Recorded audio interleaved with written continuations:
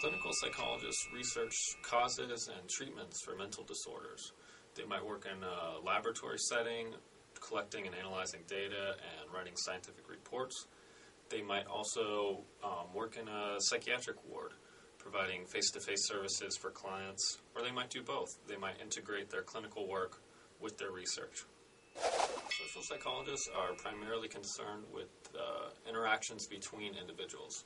So they might be concerned with peer pressure, collective goals, beliefs. For example, the Florida Gators. We might have the collective belief that we're number one, we're the best, um, and we'll have the the goal that we're going to win. We're going to win the national championship, and we're going to wear orange and blue to show our membership in the group of the Florida Gators. We already talked about social psychologists and how they're concerned about interactions between individuals. Well, personality psychologists deal with just the individual. So, what defines you as a person? Um, they'll study different traits like openness to experience, conscientiousness, extroversion, agreeableness, neuroticism.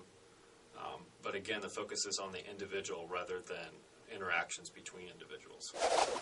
Developmental psychologists deal with changes and thoughts and behaviors over the lifespan. So, changes that occur from birth to death.